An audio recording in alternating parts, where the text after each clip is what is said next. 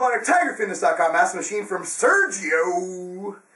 I've read that consuming carbs around the same time as taking Yohimbine HCl minimizes the effects of Yohimbine. I'm stacking drop factor and Yohimbine. That results, baby! While sipping on Gaspari's SizeOn during my workout, does SizeOn affect the Yohimbine during my workout? Now, insulin is not black or white. There are different grays of insulin. Um, thus, if you spike your insulin a little bit, it's not just going to nullify the effects of Yohimbine and drop factor. There's other elements in drop factor that will work. Um, I think you're fine. I don't think it's going to mess it up. And if you're during your workout, um, you're depleting your glycogen as you go. Your insulin's not going to spike.